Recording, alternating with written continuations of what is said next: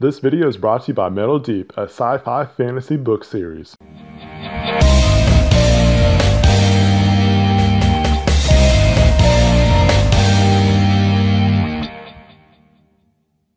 Hey guys, Joshua Bane Tech, and I want to do a video about the new update on the Galaxy S5. This is the Verizon variant, and this is Android 5.0 Lollipop. This just got updated this week. I did a video about the installation guide, so this video I want to go over the actual features and show you what it looks like. I've got the Nexus 6 over here, and we'll do some side-by-side -side comparisons with the differences between Samsung's version of Lollipop and Google's version. First of all, let's go over the lock screen. The lock screen actually looks a little different. You have a phone shortcut versus just the camera icon, which is a nice update with this because in the previous models, like the Galaxy S4 or Note 3, you were able to put a lot of different shortcuts down here that you wanted to, but you can't do that on the stock TouchWiz lock screen. So it's pretty cool that they at least added that. On the Nexus 6, you get a couple different options. You have the camera over here, you got your lock, and then you also have your phone. So it's pretty similar. You're also going to get the same notification cards here as well. And this is what it still looks like on Lollipop, it looks very similar. Like you got the same kind of actions and everything, except with the Galaxy S5, whatever kind of ripple effect that you have going on, you're going to see that come up. You kind of see that little pop up with those bubbles there.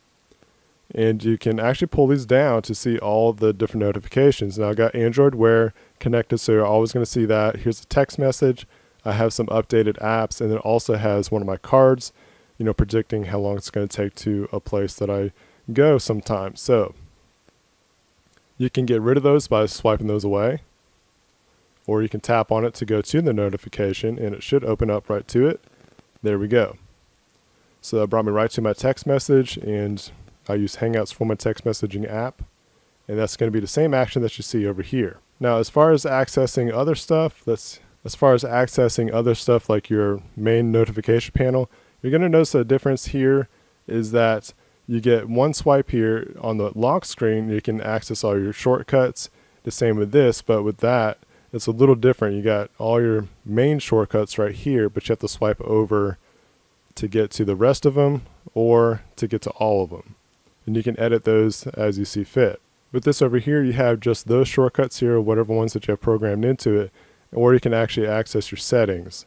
And you also have an option to change your profile you got different user profiles. You can add whoever you are, a guest, or even add a user. And you can switch to guest and do all that kind of stuff. Now, you're not going to be able to do that with the Galaxy S5. So let's go back to this here. And we're back to our normal profiles. You can't do any kind of profile switching on the Galaxy S5. So that pretty much does it for the lock screen. The other thing I want to show you just the pop-up display is actually different now. It's got the lollipop style. So like let's for example, you got the phone options here for your power button. You got your power off, your airplane mode, restart, and also emergency mode. You can hit restart, and that's what the pop-ups look like now. It's not a dark notification like we're used to seeing. So with Google's version, I actually don't like it as much because you only get the power option. Of course, you can install different modifications with the Nexus 6, different ROMs and so forth. But just the stock, you're only going to have the power off option when the Galaxy S5 has a bunch of options, which I like. I like having the restart. I use that more than actually the power off. Let's go over some of the main icons. Your dialer has changed on the Galaxy S5. It's definitely a hybrid between like material design and TouchWiz. They have like these different kind of colors going on, like this Tennessee Volunteer Orange with a Miami Dolphin Green. And then you have your different options over here. So the dialer definitely looks different. And then the dialer on the Nexus 6 is really just plain Jane. There's not much else to it. If you want to get to your different other notifications or toggles, you can hit back to get your favorites. Or on the Galaxy S5, you got your recent phone calls, your favorites, or you can access all your contacts. You also get a uh, plus sign down here when you access your contacts, so it just looks different.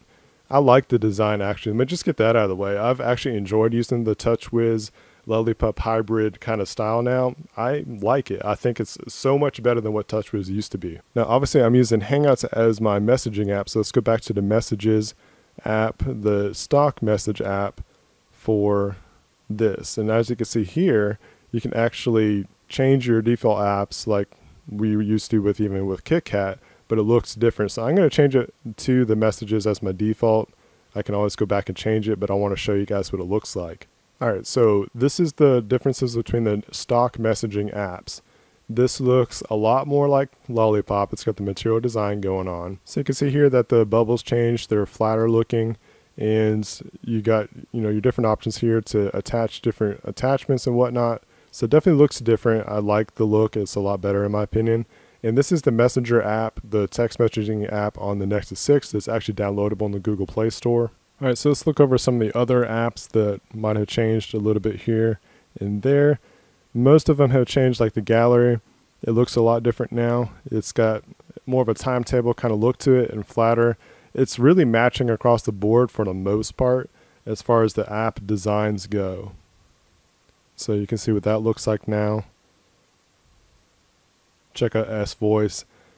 I don't actually use S Voice, I use Google Now, but you can see here that it's got more of a material look to it.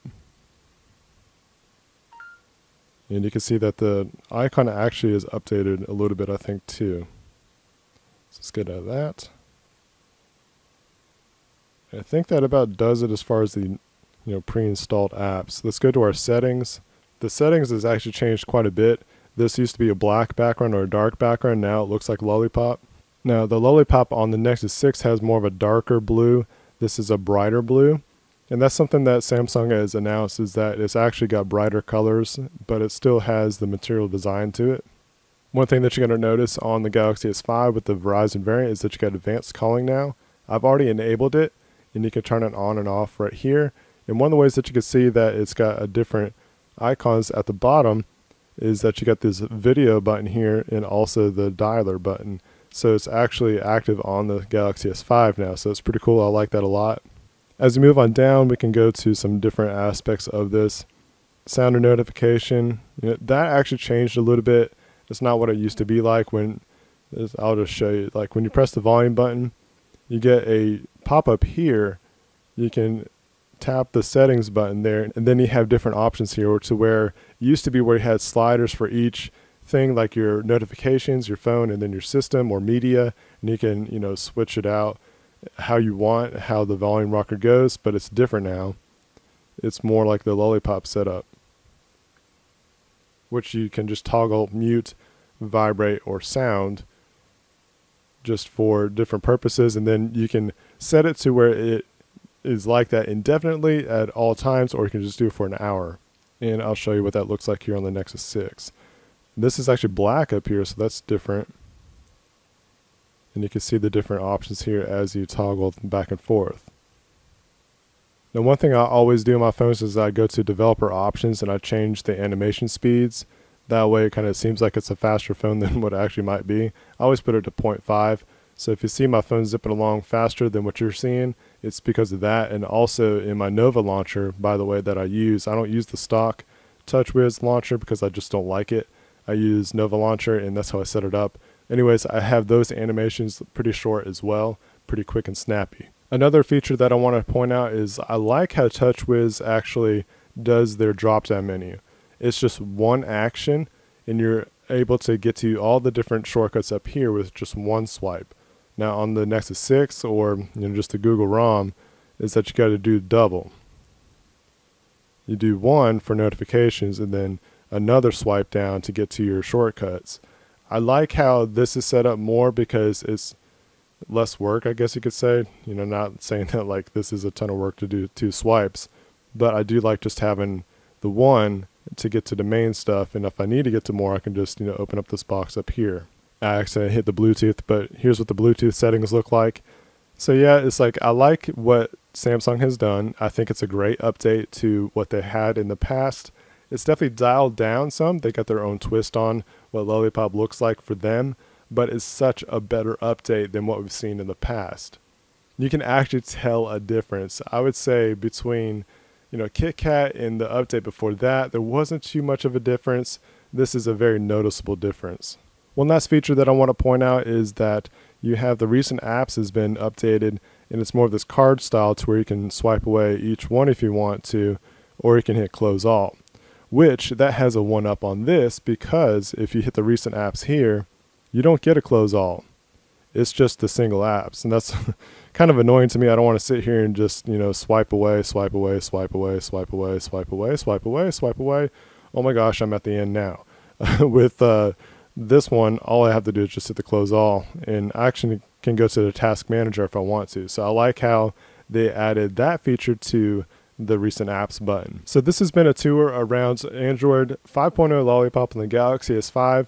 I've got the Nexus 6 here with Android Lollipop, the same kind of update, but we kind of see the differences between what Samsung interprets Lollipop as and what Google interprets it as. And some of the features are really cool on this, and you know others are cool on this one. So it's kind of one of those things where it just kind of depends on your taste of what you want to get but I definitely think that this is a great update that Samsung has done. And it's really surprising that Verizon beat so many other people to the punch as far as pushing this out to the Galaxy S5.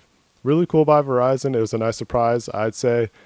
So i am just going to say thanks. I appreciate it.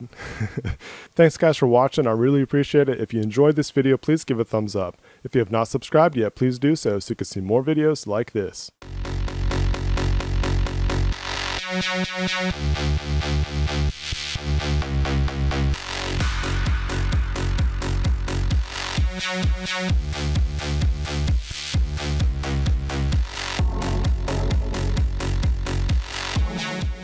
Now I can't leave out the Easter egg in this. I did this in the, my other video, but might as well just do it here too.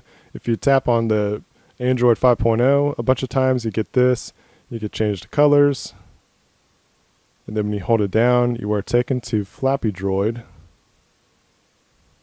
It's really hard to do this through the camera lens, so I'm going to go off to the side real quick. Try to at least get one point. Ah, it's starting at the bottom a lot.